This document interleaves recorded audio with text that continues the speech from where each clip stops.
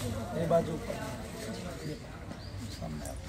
ये बाधा उत्पन्न करता है। मुझे बाधा उत्पन्न करता है। मेरी कार्यशैली में। मेरी कार्यशैली में। बाधक है। बाधा का मुझे शरणागति के साथ। मुझे शरणागत के साथ। इन सब बातों से इन सब बातों से आज़ादी दिलाओ। आज़ादी दिलाओ।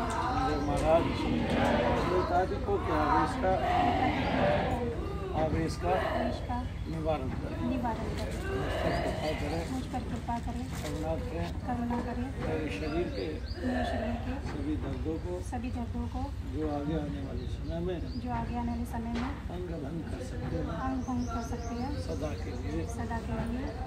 चार पाँच साल हो गए। हैं आप कौन से डॉक्टर को दिखा रहे थे?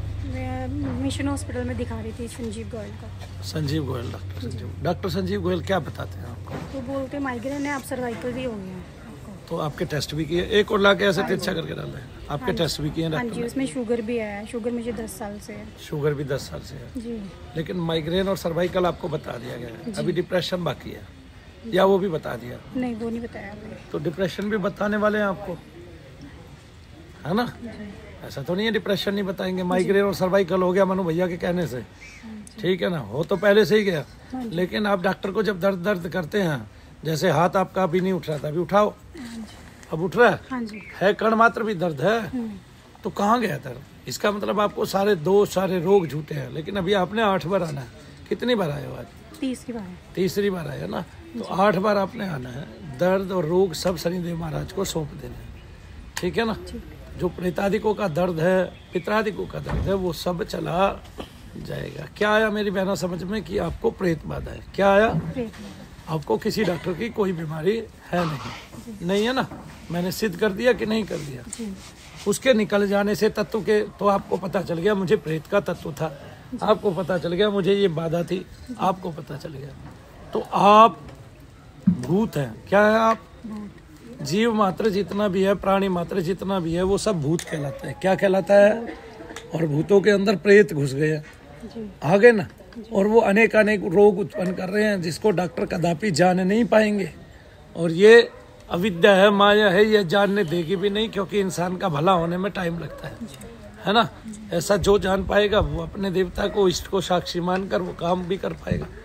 अभी आपको कहाँ दर्द है? क्या सर में दर्द है? अभी जब बैठे थे आपको दर्द था? दर्द हाँ यहाँ आने से पहले मेरे सारा दर्द शुरू हो जाता है। यहाँ आने से पहले। क्यों हो जाता है? क्योंकि आपका जो तत्व है उसमें ज़ोर पड़ता है। आपका जो तत्व है उस पर इतना ज़ोर पड़ता है वो यहाँ आना नहीं चाहता क्योंकि यहाँ होते हैं मृत्यु दंड उसको प्राप्त होता है। मृत्यु दंड का मतलब यह है कि इन आत्माओं को कदापि मारा तो नहीं जा सकता। इनकी देवताओं से प्रार्थना करके योनियाँ बदली जा सकती हैं शांति दी जा सकती है। इनको तेजस्वी ऊर्जस्वी बनाया जा सकता है। इनके मन का दम अहंकार आदि निकाला जा सकता है। भगवान का नाम सुना के। बोलिए जय शनिदेव। जय शंकर चलिए।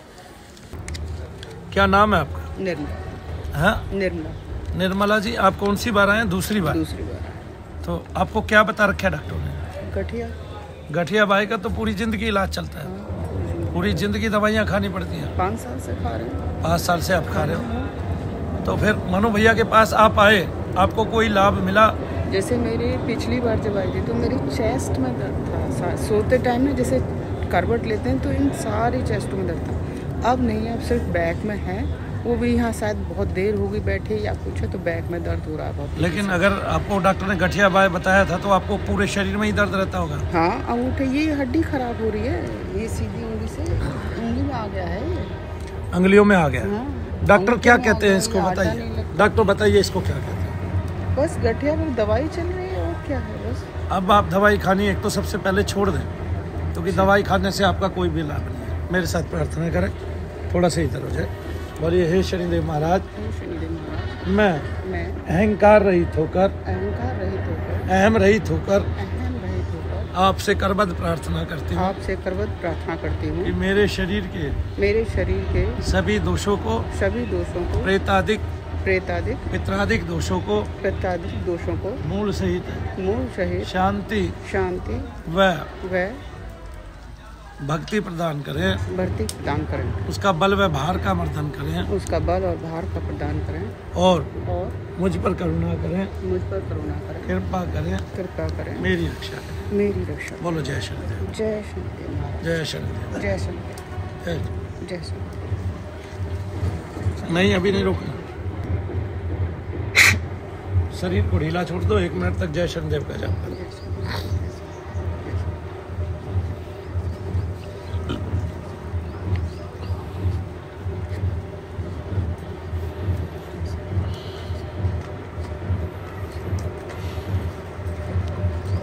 ले भाई, सामग्री कहाँ है?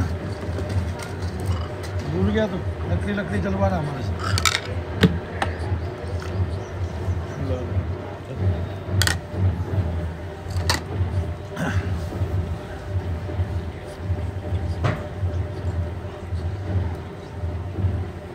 देखो बहन जी, शरीर में दर्द का है। गठिया भाई में एक दर्द ज़रूर होता है, आपके जोड़ों जोड़ों में। हाँ। अभी देखो किस जोड़ में दर्द है। नहीं मेरे अभी घुटनों में पहले से दर्द नहीं है। कम हो गया? हाँ कम हुआ है मेरे।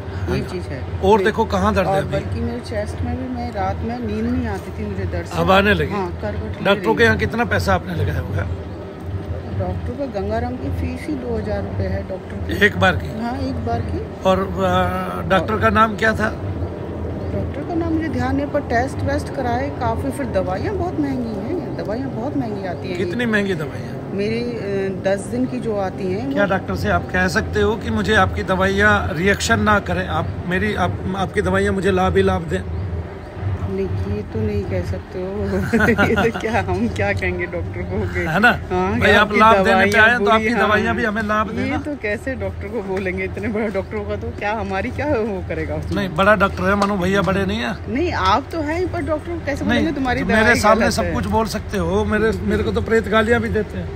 नहीं गाली वाली नहीं उनको भी यही कहा दर्द है। आपको भी यही बोल दिया दर्द है। तो उसने दर्द मिटा दिया? नहीं।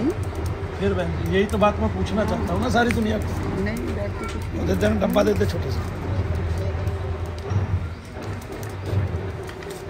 बोलो जय नहीं आप ठीक हो गए हैं? आपने दवाइयाँ नहीं खानी है। अच्छा। एक बात आपने आना है अभी अपनी आठ बार पहले पुगाओ हाँ, तब देखता हूँ मैं। हाँ। क्योंकि डॉक्टर ने तो पूरी ज़िंदगी दवाई खानी हाँ, थी। और पूरी ज़िंदगी आपको बुलाना था। हाँ। मैं आपको पूरी ज़िंदगी दवाई से राहत दे रहा हूँ। आपको एलोपैथी नहीं खानी डॉक्टरों के पास इतना पैसा नहीं लगाना, क्योंकि डॉक्टर आपको गठिया बाई की उत्तर उत्तर दवाइयाँ भी देता जाता है।